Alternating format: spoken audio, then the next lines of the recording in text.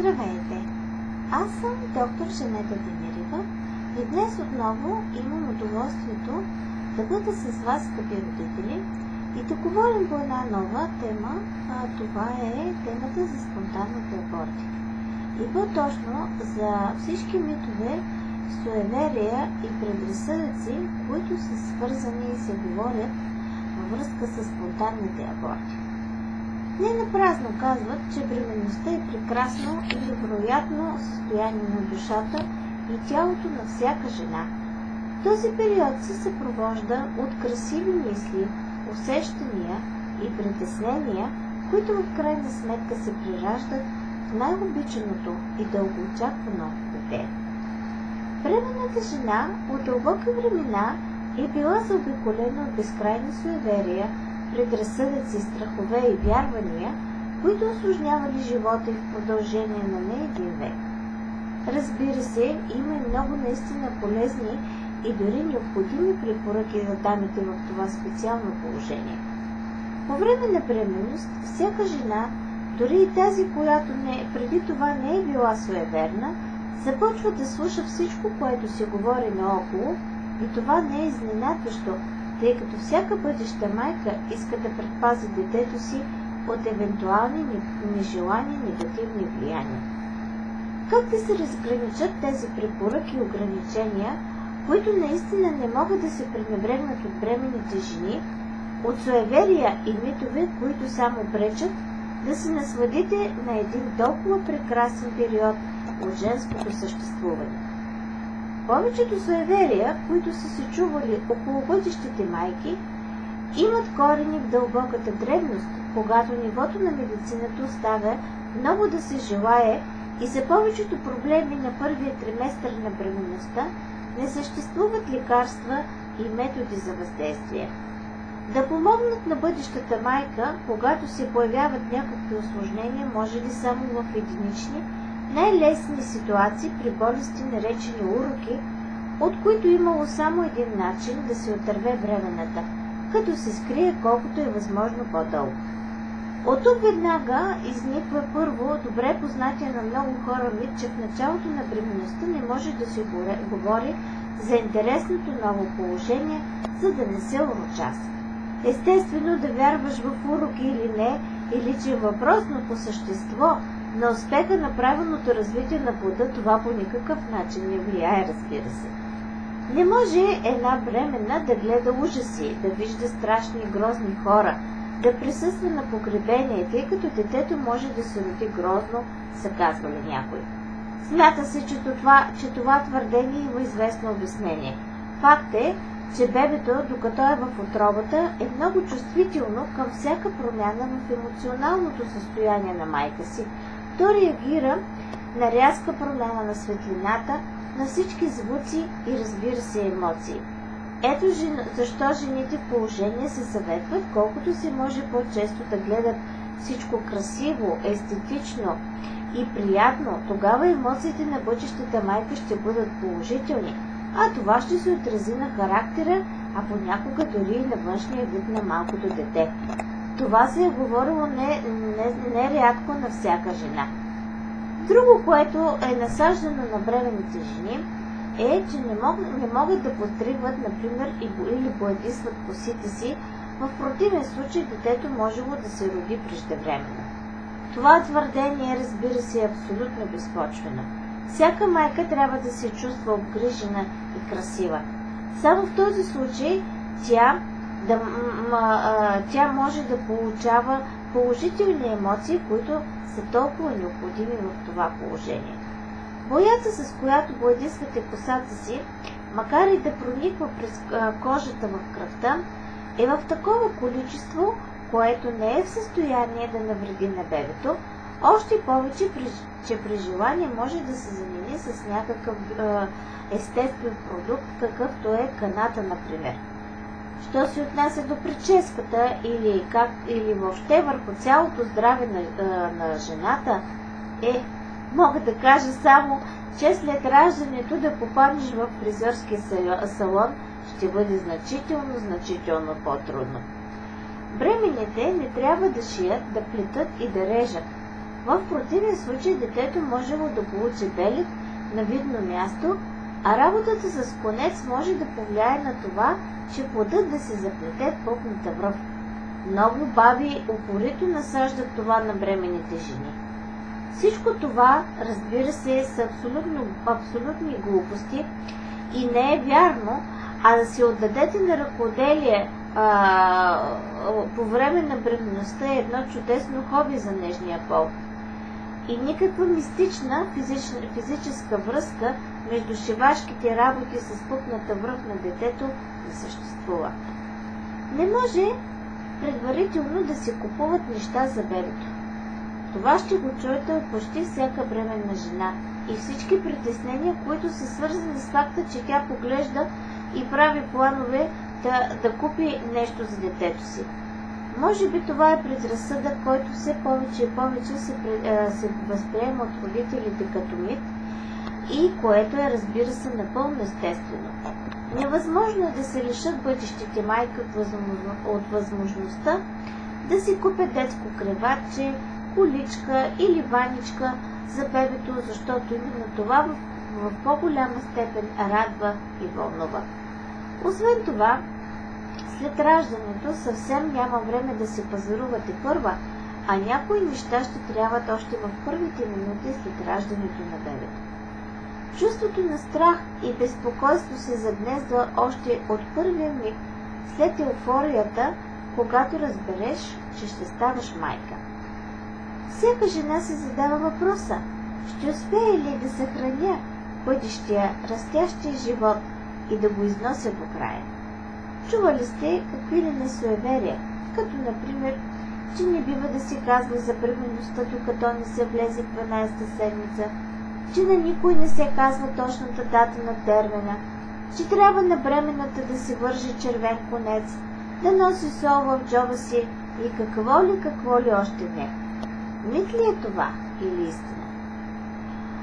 Ето, например, един от най-често срещаните митове Леко прокървяване, съпроводено с болки в областта на яйчниците, означава сигурен аборт. Какво можем да кажем за това суеверие или този мит, който а, върлува сред а, бременните жени? Кървенето по-често, по-скоро означава, че има неправилно развитие на бременността още от най-ранните фази.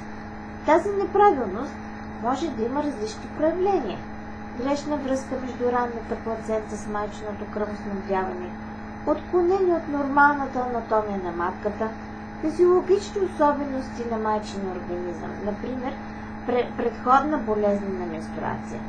Може да означава хормонален дисбаланс на ранната бременност, а хормоналното равновесие е едно от задължителните условия за правилното развитие на бременността.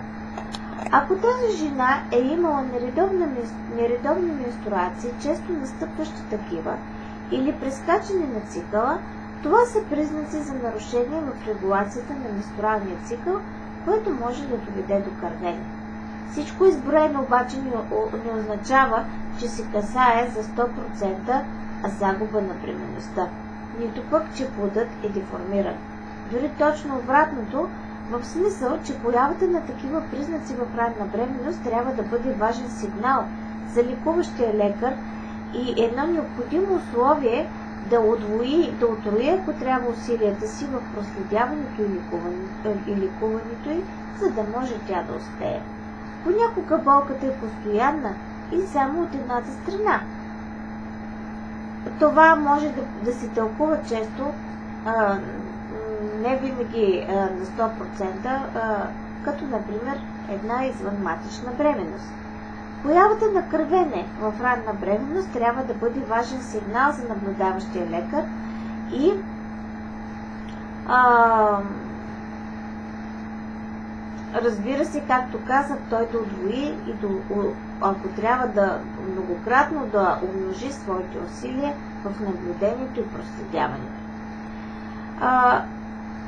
Както казах, болката, особено от едната страна, може да бъде признак на извънматъчна бременност, но разбира се, може да бъде признак на множество съвсем безобидни причини, като големен яйчник или сформирала се киста на жълтото тяло, или някои други причини. Хубаво е при наличие на такива симптоми да се направи консултация, а не първата мисъл да бъде незабавно аборт. Доста често се случва кръвението да не е признак на аборт, а да е следствие на наближаващата дата на цикъла, например. Често срещано твърдение на второ място е, че ако се разболеш през първото тримесечие, вероятността да направиш спонтанен аборт се увеличава многократно. Този въпрос е малко сложен, тъй като може да има много фактори от външната среда, които да имат неблагоприятно въздействие върху правилното развитие и протичане на ранната бременност. Възпаленията са само една малка част от тях. Да не говорим, че от една инфекция до друга има голяма разлика. Ако обаче става въпрос за това, доколко възпаленията влияят върху ембриона, то отговорът е изключително малко. Първият мощен защитен фактор е трофобластът. В последствие той става плацента. А вторият, това е околоплодната течност, която има антибактериални, антибактериални свойства. Така че плодът е запазен много надежно от външни посегателства. Природата просто си е погрижила за това. Плацентата е много мощен филтър. Голяма част от инфекциите не достигат благодаря, а, а, плода благодарение на нея. Честа заблуда сред жените че по време на бременност трябва да се избягват каквито и да е медикаменти и да не се провежда своевременна терапия при вирусни или бактериални инфекции. Преди всичко, бременността е свързана с спад в имунитет и предразположение към вирусни инфекции. Не случайно препоръчваме на всички бремени да избягват контакт с много хора и прекарването продължително време в затворени пространства с много хора, повече разходки на чист въздух. И вирусните инфекции, както казах, са изключително рискови за бременността в първите три месеца. Най-вече тогава, когато а, се извършва а, оформянето, а, залагането, изграждането на органите на, на, на малкото бебе, те могат да бъдат причина за спонтанни аборти, имам предвид вирусните инфекции, или за възникване на вътреутробни увреди на вода. Затова жената трябва да се пази от тях, а ако все пак настъпят да се вземат бързи мерки за ограничаване тежестта на заболяването. Общо укрепващи мероприятия, покой, топли течности. По време на бременност могат да бъдат приемани противовъзпалителни медикаменти на базата на парацетамол и витамин С. Ако грипоподобната симптоматика не се повлиява или дори се задълбочава през следващите дни, това предполага наслагване на бактериална инфекция, би трябвало а, да се мисли за такъв причинител и тогава е необходимо включване на някаква подходяща за бременността антибактериална терапия. Разбира се, необходима е консултация с лекар, който да прецени а, какво е подходящо а, и да назначи съответното лечение. Това отношение към вирусните инфекции би трябвало да се запази по време на цялата бременност. Здравословни проблеми, които могат да причинят повтарящи се спонтанни аборти, са следните, като на първо място това е едно заболяване ендометриоза, нелекувано заболяване на щитовидната жлеза, неконтролиран захарен диабет, някои сърдечни, чернодробни и бъбрични заболявания, систематична лупус еритематоза, това е едно заболяване, при което жената произвежда антитела срещу нейните собствени тъкани. Това е, разбира се, изключително рядко срещано заболяване, но не мога да не го спомена. Определени инфекции като токсоплазмоза, рубиола, цитомегаловирус – и херпес могат да бъдат причина за еднократен спонтанен аборт, но не и за повтарящи се такива. Едно друго, често срещано а, така мнение и твърдение че ако си правила аборт в ранна възраст, възможността да износиш, да износиш бременност в последствие е много по-малка.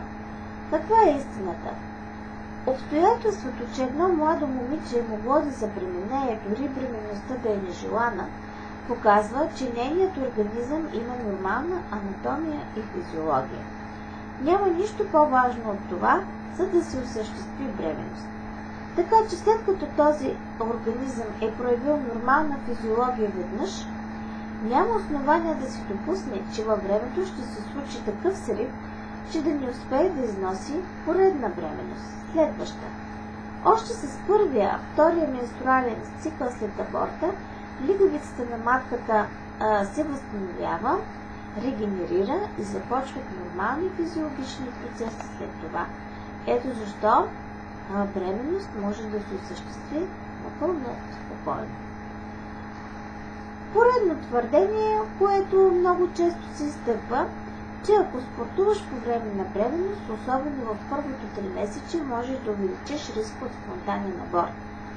Много често активни майки, а, които а, се занимават с спорт, а, други упражнения като йога, пилатес, а, като хоби било или като основни занимания, се страхуват за своето състояние, за състоянието на своето бебе и се обръщат с въпроси към лекуващия лекар.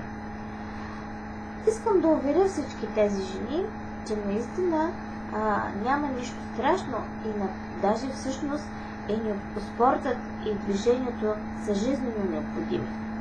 Смята се, че жената трябва да бъде оставена в нейната естествена среда, дали тя ще плува или ще тренира аеробика или спортни, народни или други танци, това е нейното нормално състояние. Ако обаче има някакви осложнения на ранната бременност, а, като има предвид главно болки и кървене, желателно е жената да се наблюдава и да прекрати спорта за известно време. Не бива да се пропуска факта, че съществува два вида натоварване – физическо и психическо.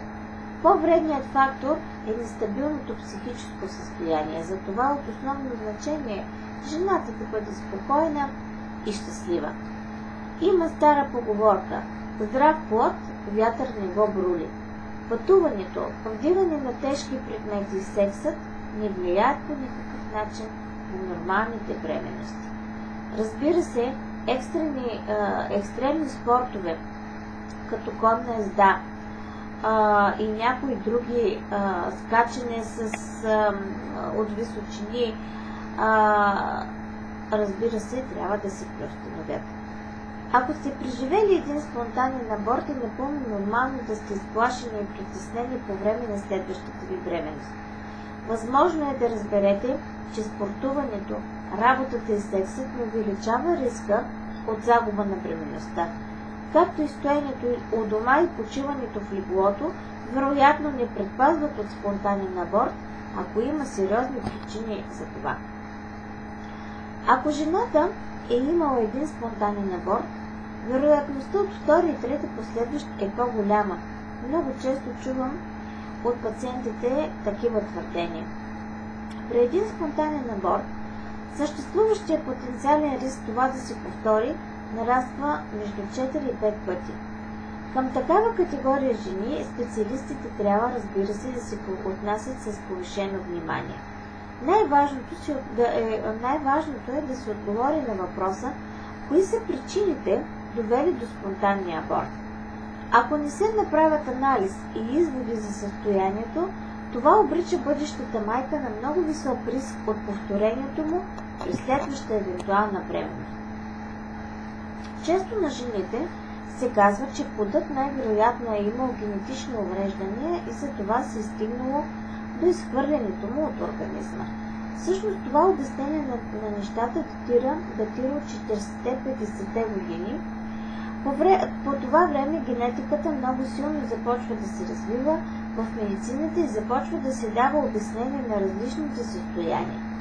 Бременността е един от най-щастливите моменти в живота на една жена, но и, този, но и този период носи със себе си редица неясноти и въпроси. Затова всяка бременна жена трябва да е наясно с признаците за спонтанен аборт, за да може, ако усети някой от тях, да реагира на време. Днес ще поговорим кои са тези ранни симптоми, за да знаете дали не се нуждаете от спешна помощ и да се обърнете веднага към вашия личен лекар или а, специалист гинеколог, който ви наблюдава. Имайте предвид, че първите 20 седмици от бременността са от решаващо значение и повечето спонтанни аборти се случват точно тогава. Около половината от жените, които изпитват тези ранни признаци, могат да получат адекватна медицинска помощ и да износят бебето си до край. Все пак е мит, че повечето аборти са предотвратими. Могат да бъдат избегнати само някои случаи, които не се дължат на хромозомни аномалии на плода. Тези спонтанни аборти, които могат да бъдат предотвратени, са следствие на хормонални промени, инфекция, здравословен проблем на майката или някакви нейни нездравословни навици в начина им на живот. Симптомите на спонтанен аборт са следните. Спазми в долната част на корема. Това определено е ранен признак за спонтанен аборт. Спазмите в корема или в областта на таза по време на бременност винаги са знак, че трябва да посетите гинеколога си. Бъдете особено внимателни, ако спазмите са придружени от тежко дишане. Ако едновременно с тези спазми усетите и кървене, то трябва веднага да потърсите незабавно просто спешна медицинска помощ. На второ място това е вагиналното кървение.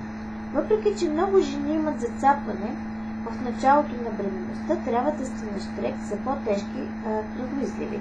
Те категорично са опасен симптом за спонтанен аборт и в тази ситуация се нуждаете от незабавна медицинска помощ.